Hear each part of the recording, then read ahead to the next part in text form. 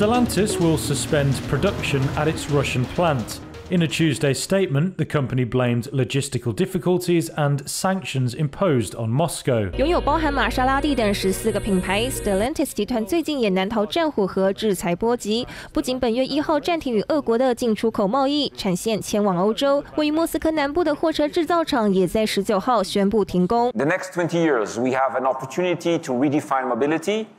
And cars and how we experience them. 尽管受战火波及，执行长也依旧看好美国市场。日前更预估北美高利润区的销售额将成长百分之三。然而，执行长的天价年薪竟成为法国总统选战的热门话题。Je pense que là, on est sur des montants qui sont astronomiques, sans aller, sans l'encadrer dans une fourchette.